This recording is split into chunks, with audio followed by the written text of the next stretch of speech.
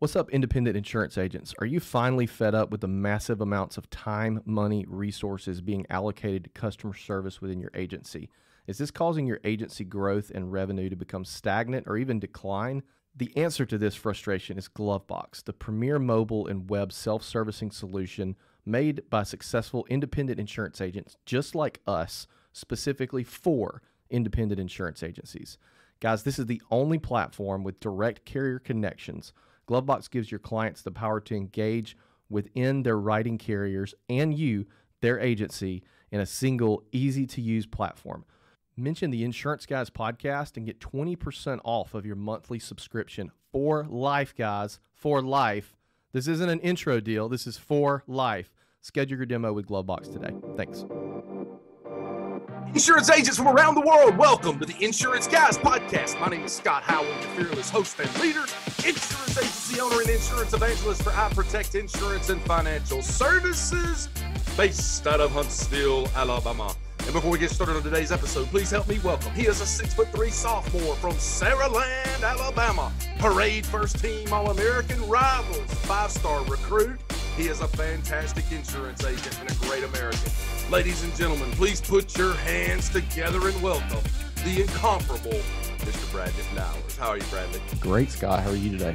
Well, I'm not doing so well, Bradley Flowers. That's a curveball. Seven straight days of tummy problems. Mm. I believe that I have a North Korean beetle parasite in my stomach right now and I'm headed to the doctor after well guys let me just be honest with you. I have depends diapers on right now to make it through this podcast. That's how no, bad it is. no you don't. But bradley we got a lot to talk about today brother. I think this podcast needs to start with how much you love your brand new car. Tell them bradley. Tell them what you did. It's i'm great. so happy for you. it's great. It's i'm not a car guy so it pisses me off. listeners i love it so much listeners, he loves that vehicle more than he loves me, and that is a fact. That is factual information right there, folks. That is factual information. We took we went on our first road trip with it this weekend. We went to Lagrange, Georgia. There's nothing in Lagrange, Georgia, but a Great Wolf Lodge. I guess water park is what you would call it. So it was great. And, it was good. And and as you put it, your daughter would rather go there than Disney World. Mm-hmm. she would. Guys, I am humbled and blessed to be here today. If you love the podcast, like the podcast, or hate the podcast, please subscribe to the podcast. We love all of you. We appreciate y'all all listening to the podcast. We continue to grow every month, and I am humbled and blessed to have our guest on. As I've always told you guys, we have a responsibility to each one of you that listen to this show to speak truth to tell the truth and to give you great content each and every week. We try to do that by bringing on fantastic insurance agency owners to find out what they're doing that's working. We try to bring on people who are technology people in the industry and have products and services that you guys can at least look into to see if they fit the needs of your agency. And then I love to bring in, as we're going to bring in very soon, Mr. Andy Frisella. And if you don't know who he is, folks, you better look him up. He's only got one of the, if not the largest podcast in the United number, States of America. Number one business podcast in the world. That's pretty big. I think he makes more money off sponsorships than we do, Bradley. Probably. Yeah. Ladies and gentlemen, I want to give this man today the introduction that he always deserves, and let's row the boat towards the lighthouse today. Hope you guys can take just a couple of things from this podcast go out into your agency, see if it works for you and if it helps you make more money for your family and for your wife, your husband, your kids' college fund. And that's what this is all about, right? We all know that. So without further ado, I am honored to present him. He is originally from Ontario, California. He currently resides in Wolcott, New York. And yes, I said that correctly. He is married to the beautiful Kathy, and they have two beautiful babies and he is a graduate of the University of Southern California. He has a passion for small commercial insurance and is the former agency owner of Wells Insurance Services. He has over 20 plus years of experience in insurance and finance, and he is currently the general manager of CoverWallet, leveraging technology, data science, and design to provide independent agents with the fastest and easiest way to quote, bind, and service their clients online. Ladies and gentlemen, it is my profound honor today to introduce to you first time guest on the Insurance Guys podcast, Mr. John Wells. How are you, John? Hey, Scott, I'm doing great. Thanks for the build up there. I appreciate I, it. Brother, I am so excited to have you on this show. And uh, you know what? I normally I normally go through people's past and what they've done in the industry, but there's been one thing that you said, one on a podcast with my brother from the, another mother, Mr. David Carothers, and one before we got on the show today. When you were an agency owner with Wells Insurance Services, I have heard you say that at one point in time, you guys and girls there were writing five million dollars a month in insurance premium. Is that what I heard? Yeah, the last year and a half, I averaged just over five million a month in premium. Uh, didn't get there overnight. I learned, uh, you know, it was not an easy road. I started insurance off as a you know small guy, uh, learning how to make macaroni and cheese, and if it was a good month. I had hot dogs in my macaroni and cheese, mm. and I, I, learned by screwing up. I learned by mentors like you and Mr. David Carothers, you know, and a lot of people that uh, just taught me, you know, step by step what to do. And that's my passion. I want to make sure that agency owners, man, it's a hard gig, and I want to make sure that you have know the tools that are available to help you grow your business. I'm going to ask the question that I know that every single person listening to this wants to ask, and I'm going to ask it in the way that they would ask it what the heck were you doing? okay. When we first started in commercial insurance, we think that uh, okay, eh, we're going to treat it just like personal lines, and we're we're going to treat it like a commodity.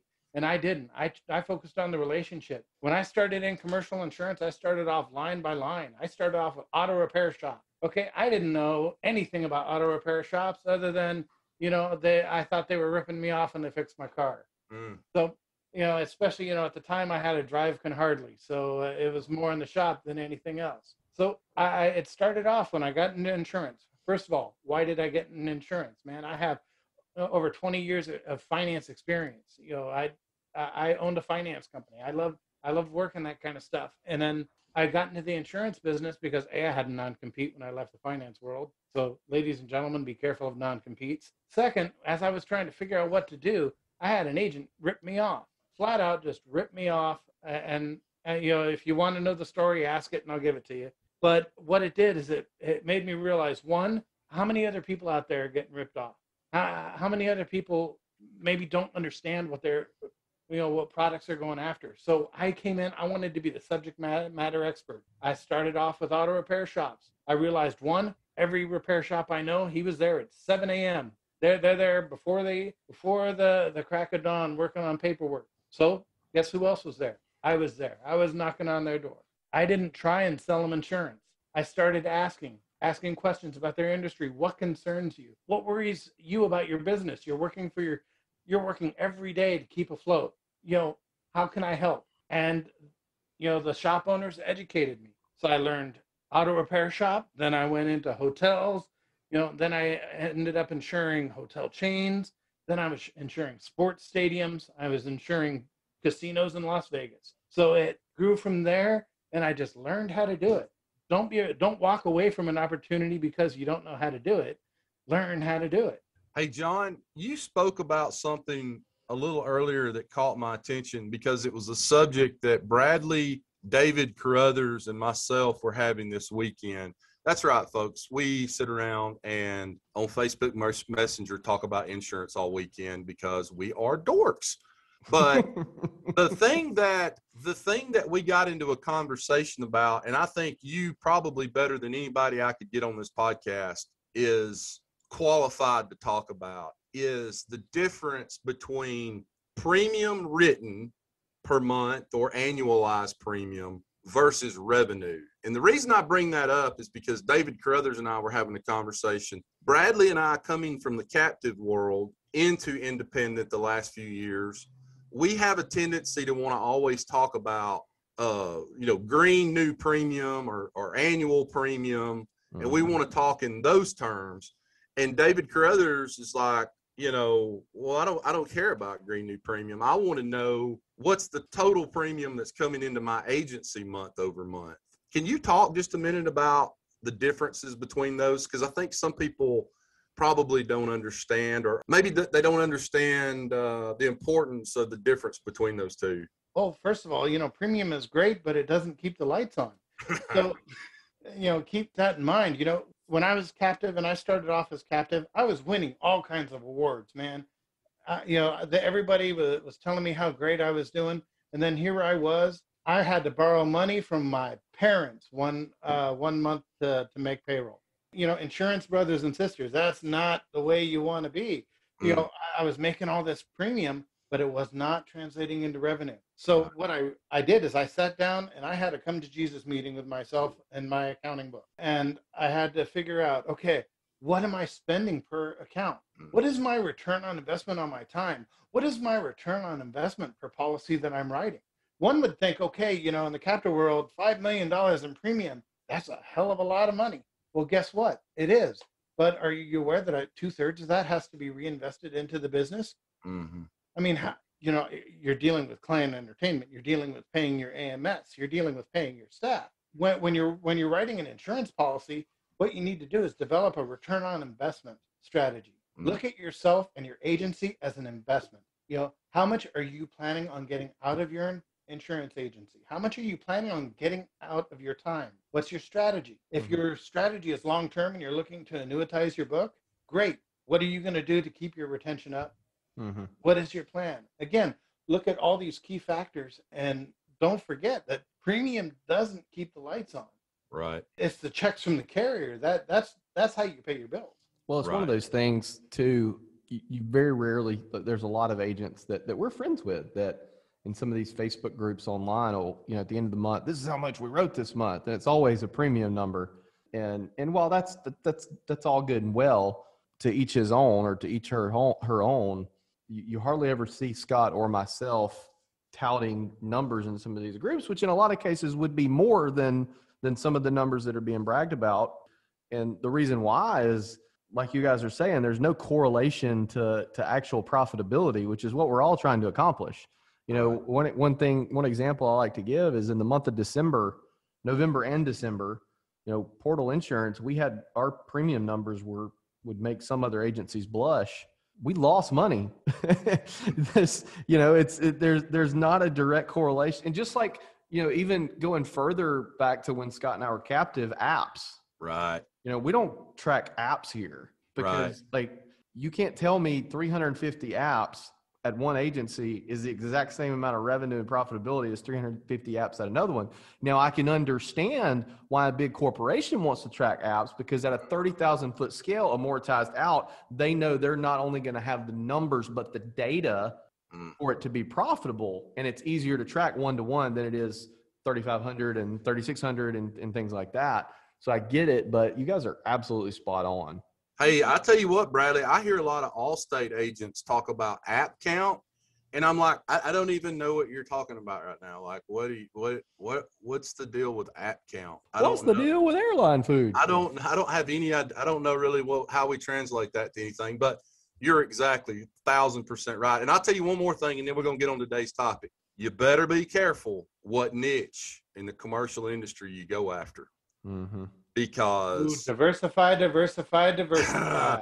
hey, listen, guys, if you never listen to anything I'm about to say, you want to jump on some of these niches, you better get ready to hire some folks. Now, whether they're in VAs or American, whatever they are, that takes a tremendous amount of service work with mm-hmm. certain niches in the insurance industry, which then correlates to more of that revenue being you know pushed over to the expense side because you've had to hire three people to handle all of this business that you're getting you know mm-hmm. in that particular niche and I, have seen that happen quite a bit you just got to be careful with that kind of stuff well not only that when john said hotels i, I tensed up over here a little bit because could you imagine only doing hotels mm. in 2018 oh, no. 2019 and then 2020 comes around the corner and everybody's non-renewing Yep. Yeah. When I first started, man, I had the brilliant uh, idea, you know, you know, let's focus on this. And and I did. I focused on a specific niche, and I, I mean, I was writing uh, large dollars in premium, and I was losing my shirt because the service work on there was costing a lot more than the premium I was making. Mhm. So, I mean, you, you just need to, you know, you wouldn't sit in a stool with three uneven legs. Yeah. You know, that would be a Right. miserable experience, and you'd never be able to balance. You want to Mhm. diversify your book and make sure that each stool leg is is the right length for what you need right now. Yeah. Well, what you want to do too is you want to look at the cost of service as well. Uh, Sydney Rowe put out a podcast recently on that subject, or that was one of the things that was spoken about. And in case anyone didn't catch that, the, the cost to service is you take the, the entire cost of your service team. So salaries, technology they use, anything that, that goes towards service, any expense that goes towards service, and you divide that by the number of service activities that are done in a given year. Now, first of all, a lot of folks listening to this, their management system may not have the capabilities to track service activities, or maybe their staff isn't entering it in there correctly. Both are a problem. But with that number, you get your cost of service. So essentially, what that means is, is every single time the phone rings with a service activity, this is what it's costing your agency. Right. So for portal insurance, that number is about $35. Just so Wow. everybody knows. Now, Wow. that's probably a little high because again, it's very, very hard to track every single service activity, but $35. So if my average customer is calling in two times a year, it doesn't make a whole lot of sense for me to write a $700 account. Yeah, Bradley, what I did is I actually took the policy level. So I would tell you, okay, the premium in that policy is this much. How much how much of that was did I have to accrue for marketing? How much did I have to accrue for service? How much did I have to accrue for taxes? Guys, we forget about taxes all the time. You know, Uncle Sam is going to take his share. So what I did is I built out a, a model on a spreadsheet that, that I would run every policy through, and every month I'd be able to tell you what my estimated return on investment was for booking that policy. Mhm. That's when I realized, you know, I can make money on a thousand dollar BOP if I didn't touch it. Right. For me, that's where I used CoverWallet. I that's mean, where, that's what I say. That's where CoverWallet comes into play. Let's talk about that. So, John, the reason you're here today is to help these agents. I have got two agents in my office who write small commercial insurance. Neither one of them have ever heard of Co- CoverWallet before. And I have a large group of insurance agents that listen to this podcast who just heard me say that and their head kind of tilted to the side like a calf looking at a new gate. And they're like, huh, what is CoverWallet? What is it what is this? Our job is to at least introduce CoverWallet to them today so that they can go out there and look into it and see if it's right for their agency. So so lead with that and tell us what it is So, CoverWallet for Agents is a digital platform designed for agents with real time carrier integration. What does that mean in English? And uh, let me tell you a story on how I used it in my business. It may not be work for everybody, but it worked for me. What I did is there's a feature which is called the shared application feature, and that's what made the money, man. I posted that link on my website. I posted the link on my email signature. I even put it in my text messaging program. And what that did is that allowed insureds not my staff, to go in there, click a button, and start their quotes. Mm. Look, think about it. On your website, do you have a request for a quote? yes Okay, and what is it doing? It's going sent, getting sent to an email, right? So think about the experience you would have for your insured if they can click on a button and bind a quote right there. And better yet, think about if your insured clicked and bound a quote and you got paid for it. We've been So- doing that a lot in our in our agency with the with the small stuff that we may just not want to fool with. We'll just send them the share application deal, and it's great, John, because the person who can go through the process to either do their own quote or even possibly finish it, typically that person also not only has the capability to service it themselves through CoverWallet, but they also usually want to do it that way. They don't want to call into an agency and, and, and have to wait for somebody to pick up. Yeah, I've no, you know, think about it. The new consumer that we have now, man, if you would have told me 20 years ago I'd be living off my cell phone, I would have probably laughed in your face. I remember, you know, my geometry teachers telling me, hey, you better be careful. You'll never have a calculator with you all the time. Well, guess Mhm. what? Hey, exactly. calculator. Well, think about this, dude. I was thinking about this on the way back from Atlanta yesterday. Like, human beings are so much smarter today Mm. than we were 20 years ago because you literally have unlimited capabilities with your phone. Like if Yeah. you want to know anything in the world, you have that knowledge instantly. Yeah, at four years old, my son knew how to use an iPad. At four years old, I was eating dirt. I mean, Right. Yep. Hey, hey, insurance agents from around the world. Here's your question from Scott Howell. Who is the 17th president of the United States of America? Here's the answer for you. Who cares? I can look it up on Google. I happen to know the answer to that though. Just just saying. Well, I'm sure there's a few people that do. Go, go, go, ahead, go ahead, though. Go ahead and tell us who it was. I'm not gonna. T- I'm not gonna say because I want them to Google and I want them to, to tag you in it. But um, Hey, so hey, so fun fact. Fun fact. okay. Madison Prewett from The Bachelor. Okay. Her dad was my history teacher in high school, and he's the reason I know the answer to that question. hey, I bet he was a good one because I know who you're talking about. hmm I know who you're talking about. I know him as well.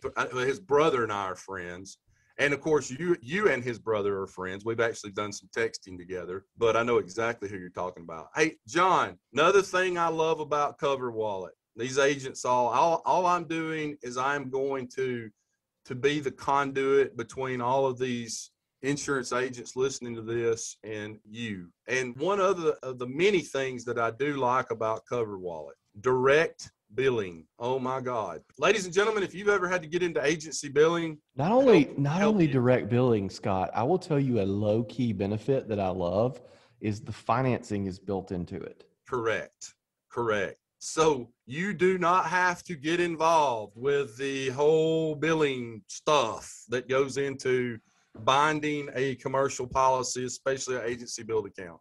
Mhm. But tell us a little bit about that, John, about the billing side of this. So first of all, it's an automatic bill. It's set it and forget it. You know, you once they sign up, you know, if they pay in full, great. I love those.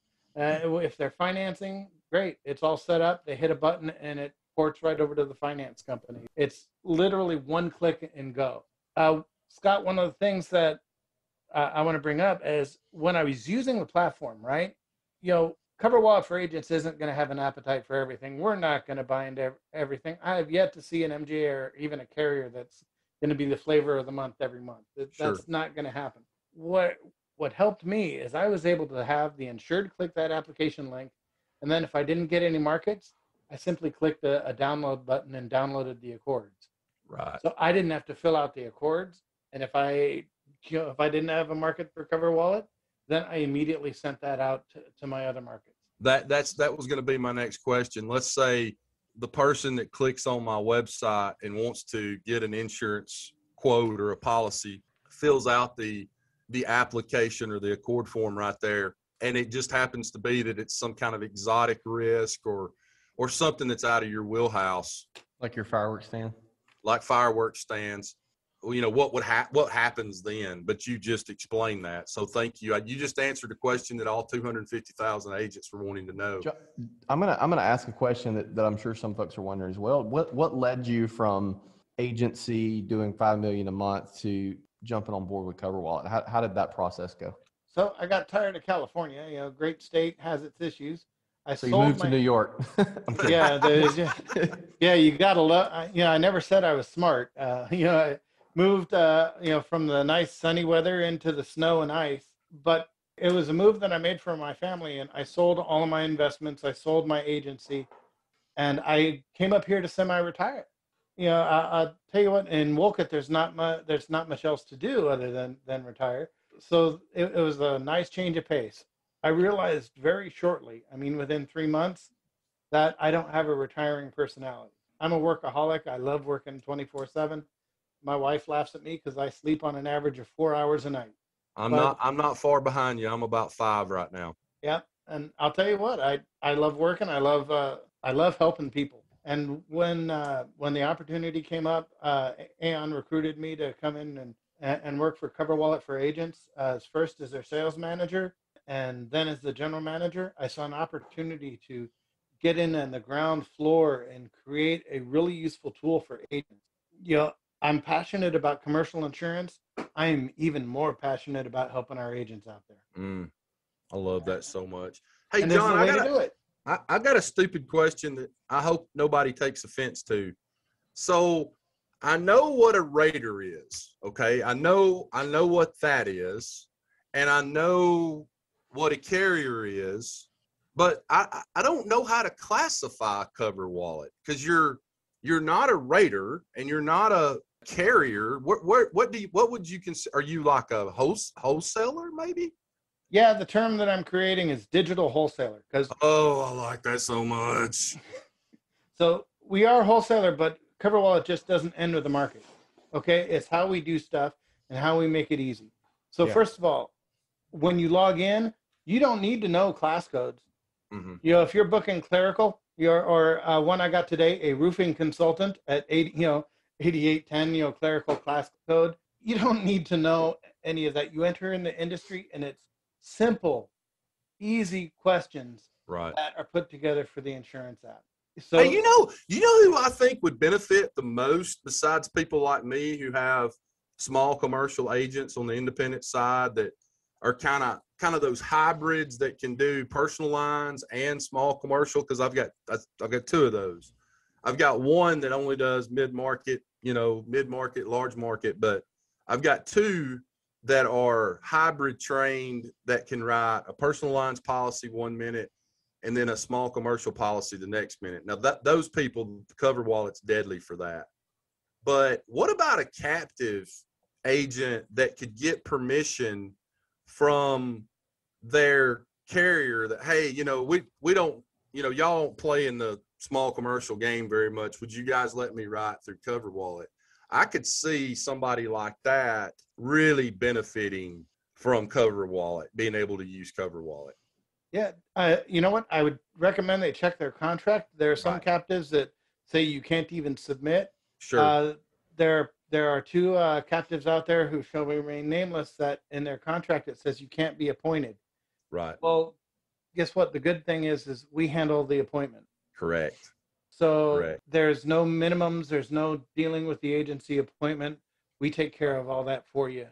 That's right. Yeah. See that right there. I could see somebody really knocking the home run with with Yeah. CoverWallet. Talk about or or, you could just refer it to me. That, that we could do that. Or refer it to Bradley Flowers. What- blah, blah, blah, blah, One blah, thing blah. I, I want to talk about, John, and, I, and I've actually spoken about this on the podcast before. So I, you know, if I were to go into say insurance suit with thirty thousand agents and say, hey guys, what do you guys think about carriers going direct to consumer? Probably twenty eight thousand nine hundred ninety nine of the agents are gonna set or twenty nine thousand nine hundred ninety nine are gonna say it's a bad thing. Um, I am in the minority in that I actually like when my carriers, some of my carriers go direct to consumer because of two reasons. One, A, it helps me weed out the people that I probably don't want to write anyway, because there's going to be a, a lot of business that doesn't fit in our wheelhouse that's going to go direct consumer and handle a lot of back to the service call, you know, a lot of unprofitable business go to there. B, a lot of the people that are buying from Geico and Lemonade and folks like that, like aren't, aren't my clients anyway. B, by that carrier going to direct to consumer, they build brand in the process. One of our biggest struggles going from captive to independent, I went independent two and a half years ago, is having to sell that carrier that this client's never heard of because they're not advertising. You, you know, we don't run into that problem with carriers like Progressive or Safeco or Liberty or someone like that. So I'm a fan of that, and and I'll be honest with you, I I know CoverWallet does go direct to consumer a little bit. I'm a fan of the way you guys flow leads to agents through that process. Um, I think that's a very good case study in showing agents why it's not a bad thing for some some carriers and wholesalers to go direct to consumers. So talk a little bit about that and how agents can take advantage of that. So Bradley, there, there's two things here. There's one, uh, there, there's one carriers marketing to your insureds. There is a national carrier that I refused to bring onto the platform because they refused that, to sign an agreement saying they wouldn't market to my insureds. Mhm. And that was a big thing for me. I mean, I would bust my, my buns to get this policy booked. And then next thing you know, six months uh, down the road, they're getting a letter from the insured saying, "Hey, why are you using an agent?" You Yep. know, that that that's that's one point that that we don't get involved with. Now, do we have a direct cons- to consumer division? Yes, but it's run as a completely separate business unit. It's a different team. It's a different different management structure, and the two don't even talk to each other. So as far as placing cons- uh, consumer business, consumers can go to coverwallet.com. The agents go to the agent side, you know, um, at CoverWallet for agents. It's a completely two different worlds that that don't really mix. I don't believe in taking the hard work of agents and trying to market them directly. That's not something that we do. Now, the, most of the leads that we get, you mentioned the free leads, those come from aggregators. So, I mean, those are leads that uh, Ruth, you know, Ruth on this uh, podcast will tell you, we pay, we pay top dollar for those. Mm. But what we do is we pay those, and we want to reward the agents that are that are binding with us, Mhm. because our goal is to help the agencies grow or the agents grow their agencies. So the way that works is when you bind a policy with CoverWallet, you get X amount of leads that you can go in there and claim. And once you claim it, nobody else, it doesn't give you all the info. It just kind of tells you class code, revenue, I think number of employees. And then once you claim it, then it lets you see all the info and the contact info, and that sort of thing. But once you claim it, John, if I'm not mistaken, it actually pulls it out so nobody else can get that lead, correct? Yeah, if- if you claim a lead, you're the only CoverWallet agent that's going to have that lead information. And as a point, that lead doesn't need to be booked through CoverWallet. Mm-hmm. So, say for instance, you pull up a trucking lead, which is not something that CoverWallet's going to write. You simply or a fireworks stand. All you do is you take you take that lead. You you can even uh, enter it in, fill out the ACORDs, and then send that to your other market. Hey, hey, John, I got a, I got three questions for you. Question number one: Is there outside of you binding a policy and then CoverWallet rewarding you by giving you a certain number of leads? Could Bradley go in there and just buy a certain number of leads from CoverWallet if he if he so chose to do that? No, uh, our leads aren't for sale. Yeah. Now I'll tell you what I'll do is uh, any of your listeners that uh, mention your podcast, we'll arrange some free leads for them. Mm, I like that. Very Mm. mucho. Thank you. What's for that? What's that link again, Scott? It's uh, coverwallet.com forward slash insurance guys. That is that is the link that when this podcast comes out, if any of you are interested, and and that leads And me that'll to be my- that'll be linked below on your on your podcast app A- approval of- absolutely. of, of choice. let me ask the ten million dollar question, John. What does it cost to be a member of CoverWallet?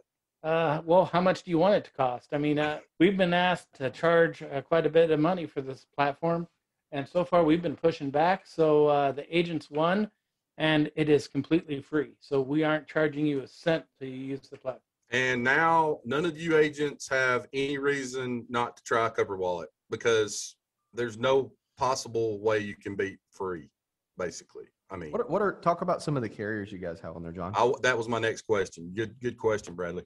I mean, we use Guard, we use Liberty Mutual, we use Hiscox, we use uh, have some proprietary stuff from Star, we use CNA. We, I mean, we use quite a few carriers, and then we're also bringing in Appetite. You know, uh, we're bringing in carriers. Now, I'll let your podcast be one of the first to know, but we are going to be launching Access Cyber. This is a, a cybersecurity product that that is top notch. That's been designed for for our CoverWallet for agents. So you'll you know you're one of the first to know we are going to be launching a product. Hot so we're- presses. Yeah, the goal is help the agents grow their business, find the carriers that want to play by our non-marketing wor- uh, Mhm. rules and agent-centric focus, and let's give the agents the tools that they need to be the next millionaire. Hey, hey, John, I got another question for you. I'm sorry, Bradley. I promise this will take but just a second. If I write a piece of business or an insured binds business through CoverWallet through my agency, right? And let's say the carrier is Guard, but I have a direct appointment with Guard. How does how does that work?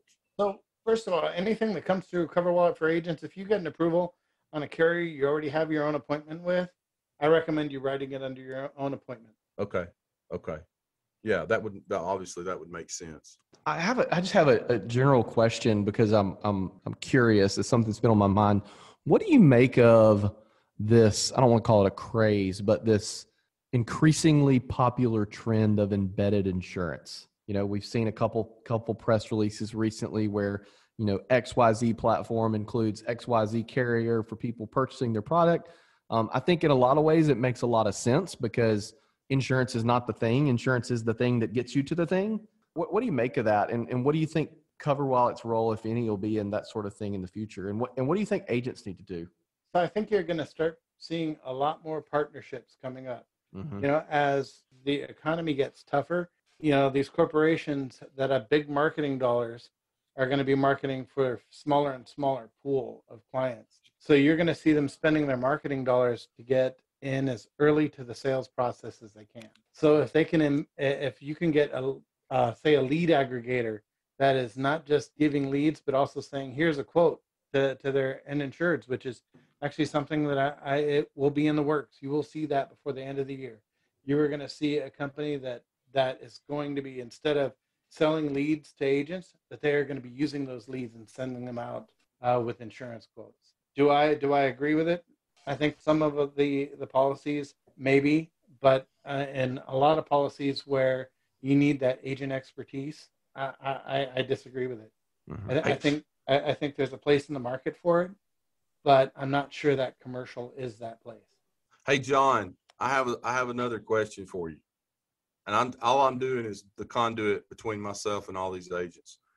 One of my people gets on my website and they fill out an application. They bind the coverage for that policy. Two weeks later, they call my office and they speak to Brittany next door to me right here and they say, Hey, I've got a CNA policy through you guys and I need a certificate of insurance through, you know, through, through cover, cover wallet. So what, what do they do there? How does that work? So Brittany would just log into the platform, pull up the agent accounts, and click request a certificate. Or send That's it to it. the client, let them do it. Yeah, or send the link to the client. Right.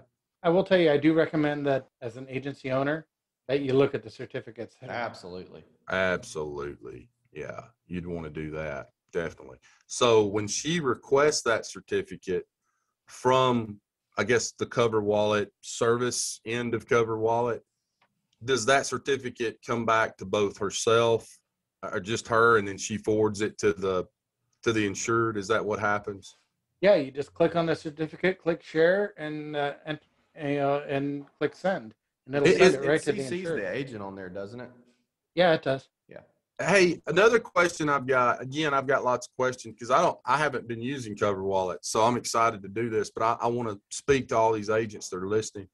Is all is all this CoverWallet stuff does it have CoverWallet all over it or is it is it white labeled for i protect insurance? If you use the shared application link and somebody clicks on the link to access the policies they're going to see your agency logo and contact information front and center. Gotcha. Now there's a little CoverWallet logo in there that we need for compliance right your agency logos are on all of the quotes so you are front and center got you bradley flowers you have any more questions no sir I'm going to other than, your other than telling all the agents to go to www.coverwallet.com slash insurance guys and sign up. Correct. Right.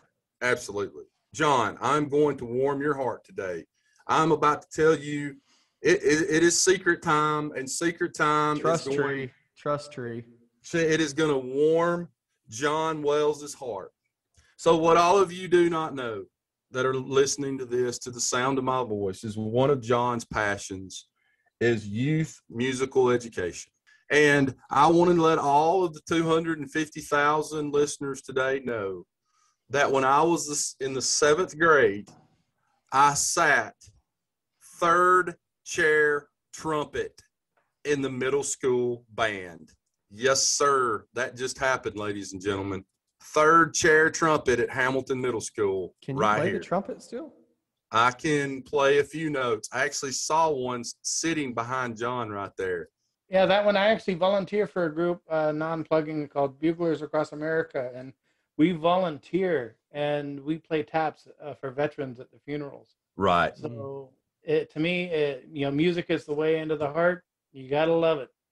There you go. Well, guys, I appreciate you being on this show today, John. You have uh, unveiled yet another technology that our agency force, our people that listen to the show can go out and look into today. And I think what they're going to find out if, if Bradley Flowers is using it, and I know he is, it, it's probably something the rest of y'all need to, at a minimum, look into. But I think if you start using it, especially for small commercial stuff, you're you're probably going to keep using it. I, I would assume. And I love the way you can integrate it with website, text, signature on your email, that kind of stuff. I mean, that is huge. And uh, I look forward to sending in my documentation so that we can get signed up with you guys too. Thank you so much for that, John. Hey, I'm thank gonna- you.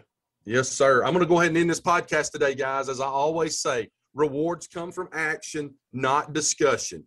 Get your asses out from behind that desk today. Go out into the big bad world and build relationships. Make money for your family, for your husband, for your wife, for your kids' college fund, and for your parents who are struggling out there today. 2021 is your year. Let's move the ball into the end zone this year and start making a bunch of damn money, folks. Let's do that together. Make money for your family, write good business for the agencies that you represent, and write good business for the companies that you represent. Bradley Flowers, I love you. Thanks, man. Thanks, John. John, thank you so much, brother. We appreciate you being on the show. And thank you to Ruth, Ruth Hennigan, for making this happen today. Thank you so much, Ruth. Guys, you are listening to the Insurance Guys podcast, and we love you too. And we look forward to seeing you back here next week. Take care.